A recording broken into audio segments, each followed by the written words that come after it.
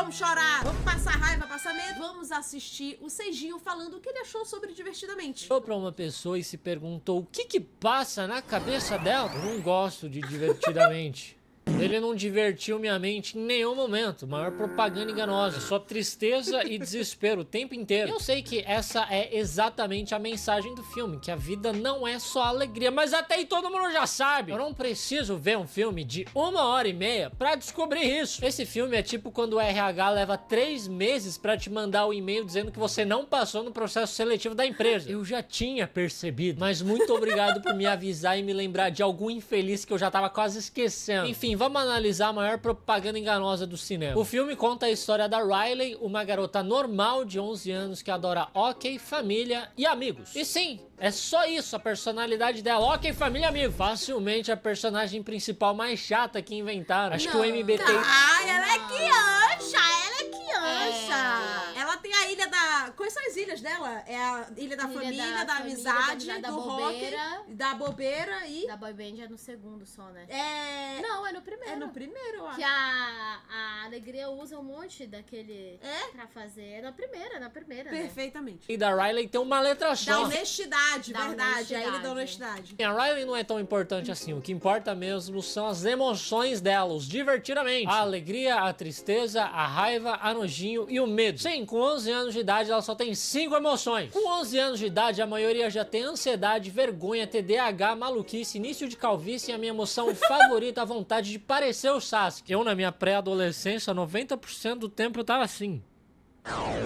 Mas divertidamente tudo tem a peruquinha do Sasuke. Os divertidamente estão com ela desde pequenina, controlando o que ela sente pra manter ela segura, saudável e feliz. Ai, Enquanto isso, meus divertidamente estão falando pra eu enfiar a língua no ventilador ligado e beber amaciante de lavanda. E aí os momentos É verdade isso. Quando eu era criança, eu tinha uns pensamentos intrusivos, entendeu? Tipo assim, e se eu pular, e se eu enfiar meu dedo, eu já enfiei o dedo na tomada. Sabe dessa história, né? Não, lá no sítio. É? Aham. Eu enfiei um lápis na tomada. E aí? Aí eu tomei um choque, né? Eu enfiei na tomada e deu. Aí eu tirei. Ainda bem. Conseguiu tirar? Tirei. Porque normalmente fica preso. Não, né? eu, eu tirei. Eu botei, foi Mas muito é- rápido. É que o lápis explica muita coisa, né? Acho que era. Então não a lembro. madeira É. não conduz. Não conduz eletricidade, mas eu Então, enfiei deve na ter- tomada. deve ter sido por isso que ela É. conseguiu tirar. Gente, Mas aí de repente explica muita coisa Uma sobre mim, né? O que, que tu fez de criança, assim, que tu lembra? Que foi muito maluco? É- Nossa, she's so crazy. She's so Pop. crazy. Tinha alguma coisa assim? Arremessar uma VHS na irmã, de repente? Meu uma Não, pera, mas isso é porque tu me estressou. eu gostava de brincar com fósforo. Verdade. Eu gostava de brincar Gostava- com fósforo. Sabe o que a Thaísa gostava de fazer, gente? A Thaísa comia manteiga escondida. É verdade. Marcas de manteiga, cadê a aviação? De vez em quando a gente entrava na cozinha É verdade. e a Thaísa, ela, tipo assim, ela empurrava a cadeira pra perto da mesa pra subir na cadeira, pra subir na mesa e a manteiga ficava dentro de um potinho, ela abria, enfiava De o dedo e alumínio, é metia verdade. a manteiga na Olha boca. que doida, né? Tu Mas tá eu entendendo? gostava mesmo. É. Talvez isso explique muita coisa. Sabe? Isso explica É. muita coisa. Os marcantes na vida da Riley viram memórias que são representadas por essas esferas e os momentos mais importantes da vida dela, tipo o primeiro gol de hockey que ela fez, viram memórias base. E elas até ficam armazenadas num lugar diferente, num lugarzinho especial. Essas memórias base formam as ilhas fundamentais da personalidade dela. Aí, tipo ó. a memória do primeiro gol de hockey dela formou a ilha do hockey. Daí tem também a ilha da família, a ilha da amizade, a ilha da honestidade e a ilha da bobeira. E é só isso, ela tem cinco ilhas de personalidade. É, é muita personalidade essa personagem. Aliás, tudo isso é bem idiota. Primeiro que isso não é exatamente a personalidade dela. A personalidade dela é família. Segundo que uma única memória base não é o suficiente pra formar todo um aspecto da sua personalidade. Como que um gol de hockey que você fez formou toda a sua personalidade de hockey? Um abraço que você deu na sua mãe e é família. Se fosse fácil assim moldar uma personalidade, eu moldaria a personalidade mais foda que o mundo já viu depois de ver um vídeo do Thomas Shelby, um da Monja Coin e dribles do Ronaldinho Gaúcho. Acabou. Não falo mais nada. Não estranhe se algum dia eu simplesmente aparecer com essa personalidade cativante do nada. De qualquer forma, a alegria é quem predomina na vida da Riley. Com 11 anos de idade, a maioria das memórias dela são felizes, porque ela tá num filme da Disney. Na vida real, com 11 anos, você já é infeliz porque é quando começam as aulas de biologia. Só que tudo começa a mudar Nossa, na vida da pera, com 11 anos não começa a aula de biologia. Começa essa, mano. Eu comecei a ter biologia, foi o quê? Ciências, né? Biologia. Ah, é, de repente é. Mas hoje em dia. Não, mas ciências tem desde antes. Não, ciências tem desde sempre. Mas eu Biologia é lembro. a partir da quinta série. Aí, Nossa, ó, pra gente. Pra gente não. foi mais tarde, por isso que a gente é Pra meio gente, burrinha. biologia é só no ensino médio. burra quando eu falei assim, burrinha assim. Não, só não. na nona série. Na era minha- biologia. Na minha Era assim. época, eu tive, acho que na, na sétima e na Não oitava teve. série. Não, então foi na oitava. Gente, presta atenção, na minha época não existia nona série. É, na tua tá? era na oitava, na Era- minha era na nona. Oitava série, você terminava a oitava série, aí você ia pro primeiro ano. Eu sou da época que o Enem não era vestibular. Ela e a família precisam se mudar para São Francisco por conta do trabalho do pai dela. No começo, a Riley até tá empolgada com a ideia, mas tudo muda quando ela vê que a casa que ela vai ficar tá meio caída, tá meio velha, meio suja e tem até rato morto no chão. Eu não sei como isso não virou uma memória básica. Menina, verdade, eu nunca tinha percebido que tinha um rato morto no chão. Tem até rato E, gente, ele é E é o ao Ratatouille. Ratatouille. Ratatouille morre, confirmado pela Disney. Caralho, eu fiquei triste agora. Os Ratatouille pode ser um Ratatouille. morto no chão. Eu não sei como isso não virou uma memória base pra ela. Eu cresci numa casa em que frequentemente aparecia rato lá. E isso moldou a minha personalidade. Até hoje eu tenho medo de acender interruptor à noite, porque uma vez eu fui fazer isso na minha antiga casa e eu peguei um rato. E foi aí que eu descobri porque que o mouse do computador chama assim. É porque realmente cabe certinho na mão. É extremamente anatômico. A minha ilha do rato é quase que um continente. E pra piorar a vida da Riley, o caminhão de mudança se perdeu no meio do caminho e vai se atrasar alguns dias. Ou seja, eles vão dormir no chão por enquanto. A essa altura era melhor dormir no hotel. Mas não, os pais da Riley preferem deixar a filha delas dormir no chão gelado com rato morto. Tem certos pais que eu acho que eles estão querendo que o filho tenha uma lore foda. Estão querendo trabalhar no seu desenvolvimento de personagem, não é possível. E como o pai dela agora tá muito ocupado com um novo trabalho, a Riley e a mãe dela vão almoçar só as duas. Elas vão até uma pizzaria onde por algum motivo você não escolhe o sabor da sua pizza. Porque ela chega lá e a atendente simplesmente entrega uma pizza de brócolis pra ela. E a Riley odeia brócolis, ela jamais escolheria isso. Se você for no médico dessa cidade pra pegar um simples atestado de gripe capaz de você voltar com dois tetão de silicone. Que você não escolhe nada, só te dão. Bom, mesmo com tudo isso dando errado, a Riley ainda tenta se manter positiva, lembrando de outras enrascadas que ela e a família dela se meteram. Só que a porra da tristeza, essa desgraçada cabeçuda, toca na memória feliz da Riley e torna ela uma memória triste. Até o filme da Disney sabe que mulheres com cabelo azul e óculos vão te deixar triste e meus amigos ainda caem nessa. Antes de dormir, a Riley pede pros pais dela darem um beijinho de boa noite, mas o pai dela tá muito ocupado com o trabalho ainda. Então a mãe vai lá sozinha e diz que o caminhão da mudança vai atrasar mais ainda. Eu não entendo por que, que esse filme ele tá querendo ser tão real, cara. Eu não, eu não quero realidade, eu não, não gosto de realidade, eu gosto Ai, de ó. fantasia. Pô, pô, Reclamou que no começo a vida Perfeito. dela tava só Disney e tudo Exato. mais. Agora, eu posso fazer um comentário? Eles são muito escrotos. Olha como eles botaram a criança pra dormir, Thaísa. Um saco de dormir. Pô, é num saco de. é, Isso é um saco de dormir? Porque parece uma capa que tu põe em elevador quando tem mudança. Não, não, isso é um saco de dormir, daquele de acampamento. Mana, mas assim, tu Pô, acampamento tu dorme um na grama, hotelzinho, né? Que é né? da grama que ainda é macia. Botaram ela no chão duro com esse saco de dormir que mais parece um lençol. Um travesseiro velho fubango num sótão que devia estar fedendo a mofo. Porra, sacanagem, mano. Não, isso aí é uma. Foi- foi é mau caratismo. Isso aí é uma memória pra virar personalidade. Eu também acho. Eu não quero realidade, eu não, não gosto de realidade, eu gosto de fantasia. Pô, pô, os caras metem uns bonequinhos coloridos e, e o filme é realidade só. E a Riley, além de ter que dormir no chão duro, gelado, com um rato morto, ela ainda tá dormindo sozinha. A menina que precisa de beijo dos pais de boa noite pra conseguir dormir, tá sendo deixada pra dormir sozinha no chão, gelado, com o rato morto. Isso já é caso pra conselho tutelar. Quando a Riley está prestes a ficar triste, a mãe agradece a Riley por ela estar se mantendo positiva e feliz, mesmo com toda essa merda acontecendo. E ela pede pra Riley continuar sorrindo, que isso vai ajudar muito o pai dela no novo Perfeito. trabalho dele. Sabe o que Claro, vamos deixar. Tá mãe. Pode deixar, eu vou passar por cima de tudo que eu tô É. sentindo pra fazer o papai ficar feliz. Esse É. bosta que tá me fazendo dormir num chão gelado com o rato que morto. foi graças ao trabalho genial dele que tive que sair Exatamente. da minha cidade.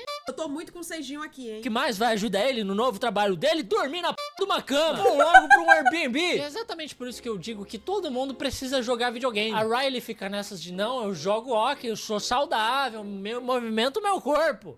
Mas aí ela se muda e todos os amigos dela que jogavam hockey não estão mais lá. O videogame te acompanha pra onde você for. Vê a Pra publi você aí que dele. tá querendo Quer ver? conhecer um jogo novo pra você mergulhar de cabeça e ficar completamente apaixonado, você deveria conhecer o Honkai Star Rail. Ele tem o gancho de milhões. Eu vou gancho pular, tá, gente? Porque a nossa live não é patrocinada, então eu não vou passar outra publi aqui pra vocês. No dia seguinte, a Riley vai pra nova escola. Pra que nada dê errado nesse dia importantíssimo, a alegria desenha um círculo no chão e manda a tristeza ficar lá nesse círculo sem incomodar ninguém. E assim, a Riley tá toda empolgada pro primeiro dia, sendo que isso é coisa de maluco. Eu nunca vi alguém tão feliz assim pra ir pra escola. Na minha humilde concepção, só gosta de ir pra aula quem pratica bullying. Pra eles deve ser divertidíssimo. Ao se despedir dos pais, a Riley imita um macaco, né? Porque é uma brincadeirinha que ela tem com os pais. Inclusive, é uma das ilhas da personalidade dela, né? A Ilha do Macaco. Chegando na escola, a professora pede pra ela se apresentar e ela diz que veio de Minnesota. E lá ela costumava jogar hockey com os amigos e a família dela. Só que a puta da tristeza toca nessa memória feliz dela e torna ela uma lembrança triste. E aí a Riley começa a chorar, Ai, lembrando dos dias felizes em que Ai, ela dá- jogava muita com a dó. família e amigos. Acho que só agora caiu a ficha que ela se mudou. E esse momento acaba virando uma memória base na vida da Riley. A primeira memória base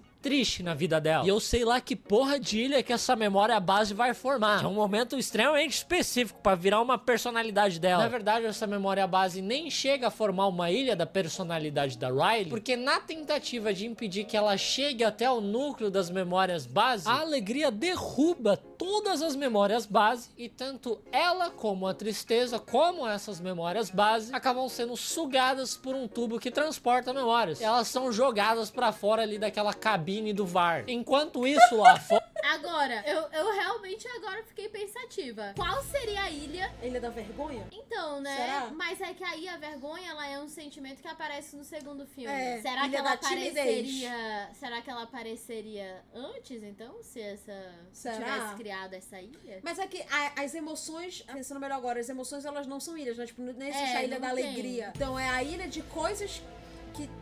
Entendeu? Que, deixam resultam naquelas emoções. De repente? É, então seria tipo assim, a ilha da. Da saudade, muito bom. Ilha da Porra, saudade. Ilha da saudade, vocês foram Ilha da saudade agora. é legal. Ora, a professora simplesmente ignora a garota nova Exato. chorando na frente dela e dá prosseguimento à aula. Não é à toa que os divertidamente da Riley estão entrando em colapso. Só tem doente ao redor dela. A alegria e a tristeza vão parar na biblioteca das memórias a longo prazo. E como elas não estão mais na sala de controle, a Riley é incapaz de sentir alegria ou tristeza. Ela vira um grande poço de raiva, nojo e medo. E se você não sabe o que é se sentir dessa forma, é só ficar meia hora no Twitter que você fica assim também. Daí as outras emoções tentam agir com alegria, mas obviamente isso não dá certo. A Riley apenas acaba suando grossa ou sarcástica. A mãe percebe que tem algo de errado acontecendo com a filha dela e por algum motivo os divertidamente da mãe dela estão todo de peruca. E isso me enche de esperança de que os meus divertidamente todos estão com o cabelinho do Sasuke até hoje. O pai da Riley briga com ela, mandando ela ir pro quarto e depois ele vai até ela meio arrependido de ter gritado com ela. Ele até pede desculpas, imita o macaco, mas a Riley não dá a mínima. E aí a Ilha dos Macacos começa a desmoronar, graças a Deus. Essa ilha era esquisita demais. Só que isso acontece bem No chão. Ele foi No deitando no chão. E enquanto a porra desse E caminhão de mudança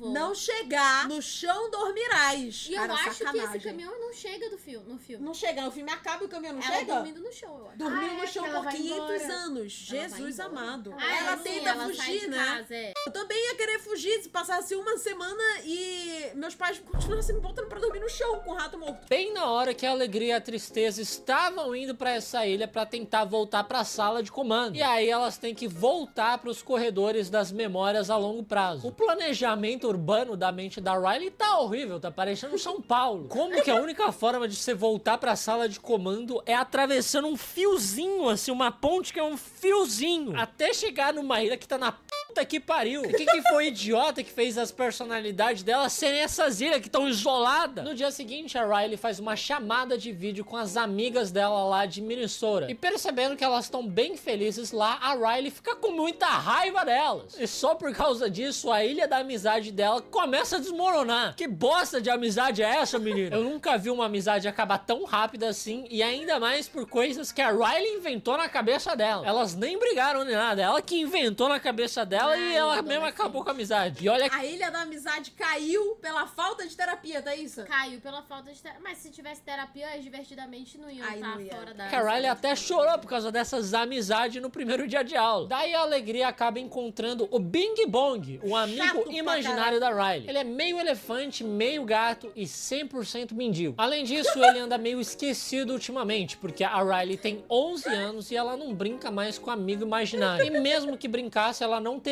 amigo imaginário porque ela é uma péssima amiga. Por conta disso, o Bing Bong fica passeando pelos corredores das memórias a longo prazo, relembrando daqueles momentos em que ele e a Riley eram felizes. E assim, é muito trouxa esse cara, porque a Riley podia ter imaginado ele da forma que ela quisesse, mas ela foi lá e escolheu que ele ia ser um mendigo. Mas o Bing Bong diz que ele conhece uma forma de voltar para a sala de comando através do trem do pensamento. E eu achei isso muito engraçado porque trem do pensamento é uma expressão equivalente ao nosso linha de raciocínio. E se a alegria e a tristeza voltarem para a cabeça da Riley através de uma linha de raciocínio, ia ser a coisa mais absurda do mundo. Na vida real, seria algo tipo: Pô, cara, hoje eu tô bem deprê, viu? Vazio aqui. Putz! Nossa, cara. Mas tipo, você já, você já tentou, né? Tipo, ser feliz? Caraca, é mesmo! Bom, Bing Bong conhece um atalho pra chegar nesse trem do pensado pen... nisso, cara. Ai, meu Deus, mano, muito bom, sério.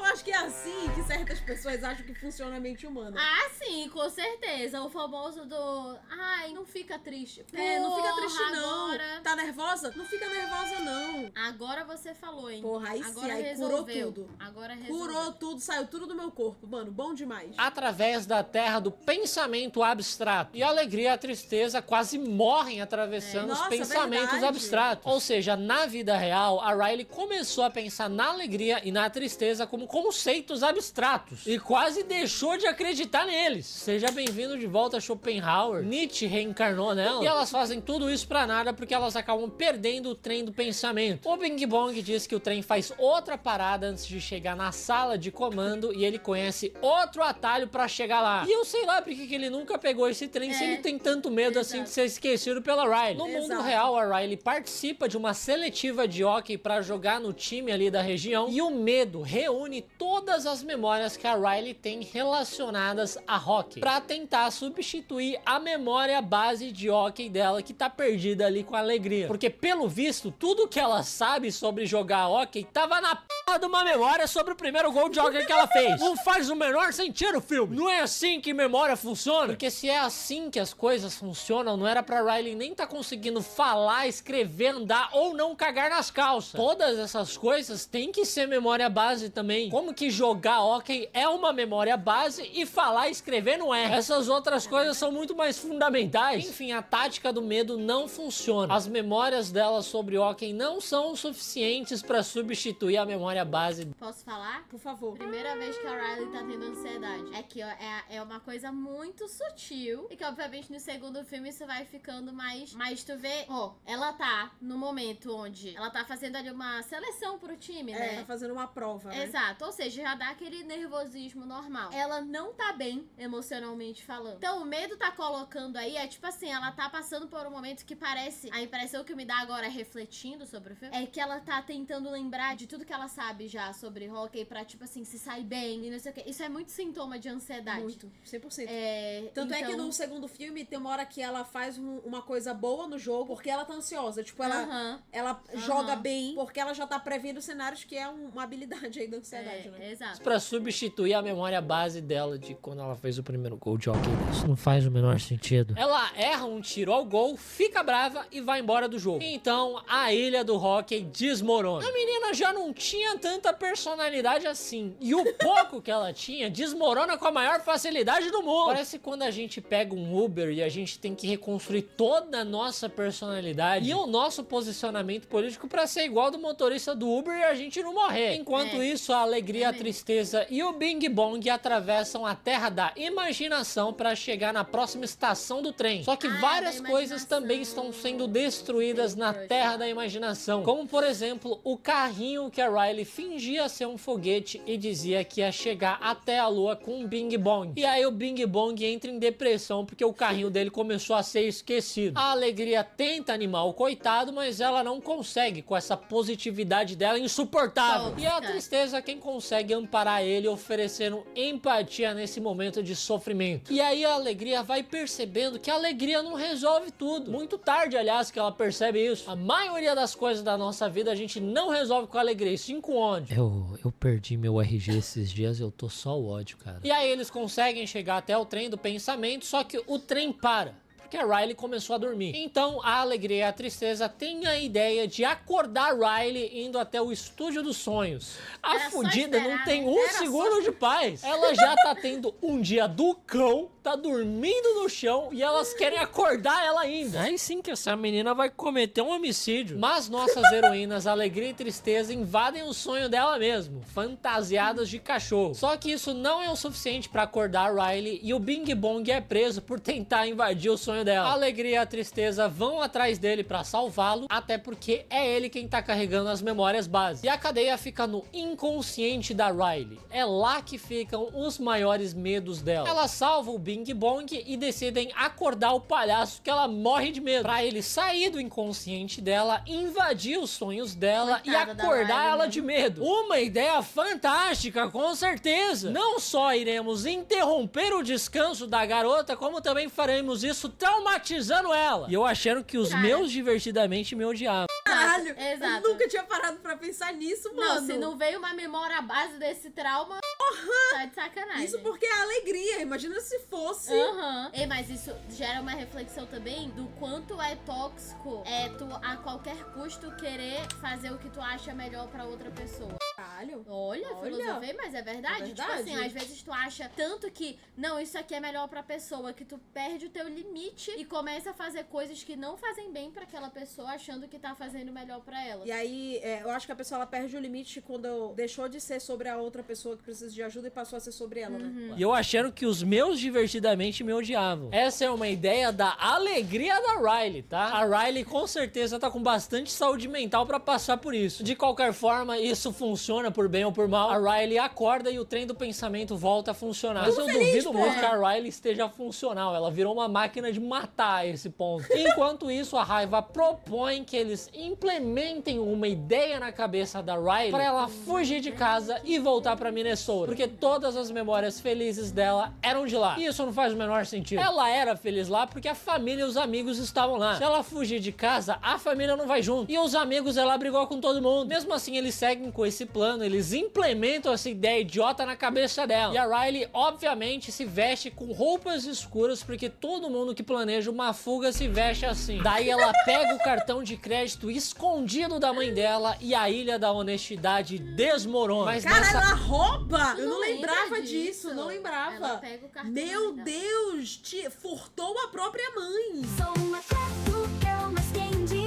Na mesma hora já ia nascer a Ilha dos 500 reais em créditos Robux. Uma ilha muito mais importante que a Ilha da Honestidade, sinceramente. Eu prefiro ter skins maneiras do que não ter. Nisso, a linha do trem também cai, derrubando a alegria, a tristeza e o Bing Bong. E eles voltam ali para a biblioteca das memórias a longo prazo. A Riley começa a preparar a fuga dela e a Ilha da Família também começa a desmoronar. A última ilha que tinha sobrado. E me desculpa, mas essa menina é completamente lelé da cabeça. A personalidade inteira dela ruiu em três dias só porque ela se mudou pra São Francisco. Se ela viesse pra São Paulo, em um dia ela teria entrado numa facção terrorista. Enquanto isso, a Alegria encontra um daqueles tubos que transporta memórias de volta pra sala de comando. Sim, tinha um tubo desses ali o Esse tempo tempo todo e elas não quiseram procurar ele porque a Alegria não quis e ela deveria querer porque ela é a Alegria. A tristeza que não deveria querer isso, porque a tristeza é triste demais pra fazer qualquer coisa. Enfim, a alegria entra nesse tubo, mas ela não deixa a tristeza entrar com ela, porque senão ela vai infectar as memórias base com a tristeza dela. Só que o A tubo. minha pergunta é, por que que quando a tristeza toca fica com a cor dela e quando o medo pegou não ficou com a cor dele? Porque a Riley tava,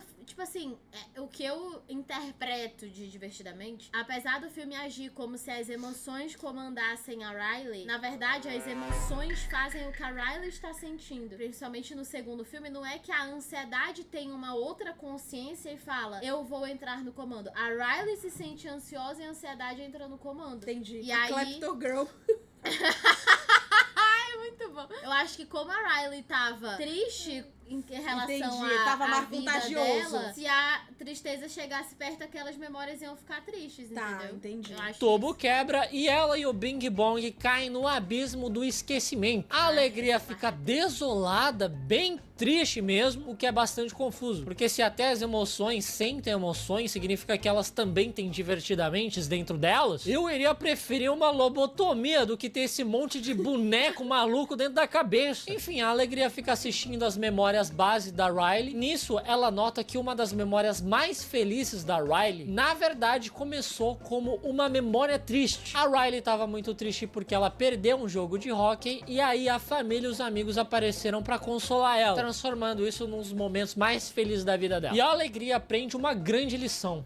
Às vezes a tristeza é o primeiro passo para a alegria, sendo que a verdadeira lição que ela deveria aprender é Vamos bancar o coitado mais vezes. Isso é maravilhoso. Vamos erguer logo a ilha da Coitadolândia. É gostoso demais conseguir as coisas fingindo ser um coitado. Eu tenho um amigo que ele descola várias coisas usando esse emoji aí do coitado. É sinistro, cara. O bagulho é poderoso mesmo. No meio desse lixão do esquecimento, eles encontram o carrinho do Bing Bong e usam ele pra tentar subir de volta ali pro corredor das memórias a longo prazo. Mas percebendo que o carrinho não tem força pra subir com os dois, o Bing Bong se sacrifica se jogando do carrinho pra alegria conseguir subir sozinho. E aí o Bing Bong desaparece pra sempre da cabeça da Riley. Graças a Deus. É um sinal de que a sanidade mental dela tá voltando agora que ela esqueceu que ela inventou um elefante mendigo. Daí a alegria encontra a tristeza voando e chorando numa nuvem de tristeza e pra tentar alcançá-la, Vou te falar, eu acho o Bing Bong muito chato, mas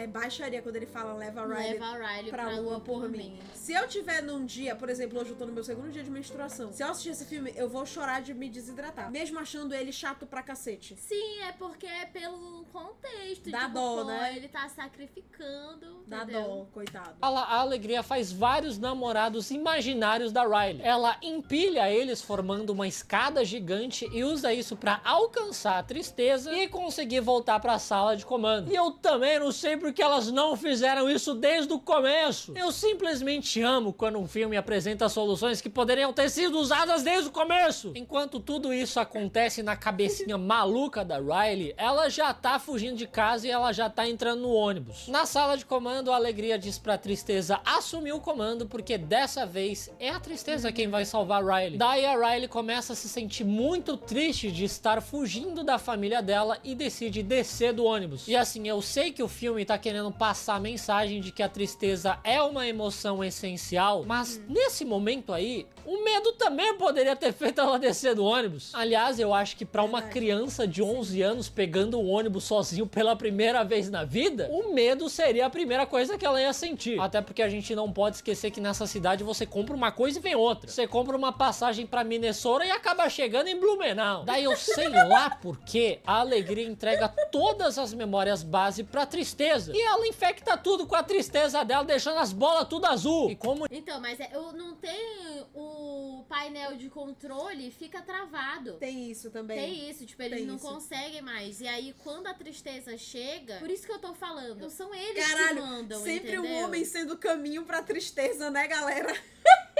Quando elas fazem uma torre do Ah! crush dela. Tá, Mas enfim, tanto que quando chega, tipo assim, a alegria dá pra tristeza porque ela percebe que a Riley precisa ficar triste. Precisa extravasar, É. né? Eu tô ficando com vontade de chorar só de ver, mesmo ele fazendo piada. Como diria meu urologista, azul é a pior cor que uma bola pode ter. Então, muito obrigado, alegria e tristeza. Sei lá que porra que vocês estão fazendo. Bom, a Riley volta pra casa e encontra os pais desesperados. Eles parecem bem surpresos que a filha que eles obrigaram a dormir no chão gelado pelado decidiu fugir de casa, quem diria? Caramba! Que surpresa! Eles se abraçam e aí pela primeira vez a Riley produz uma memória base azul e amarela, representando, é claro, as cores da bandeira da Suécia. Nossa primeira memória sueca a gente nunca esquece. E assim termina o filme. A lição que a gente pode tirar é que a alegria e a o caminhão tristeza têm mais em comum do que a gente imagina. Ambas têm cabelos horrorosos. Muito, muito bom. Muito bom Sim. mesmo. Muito bom. Como sempre, entregou tudo, novamente. É. É, com percepções que nunca tinham passado na minha Peculiares. cabeça. Fala dele, mano. Seijinho, você é rei, mano. Muito. Ah, eu não tinha deixado o gostei. Calma aí, eu vou voltar pra Você já- o gostei aqui. Muito foda, mano. Ele é brabo demais, cara.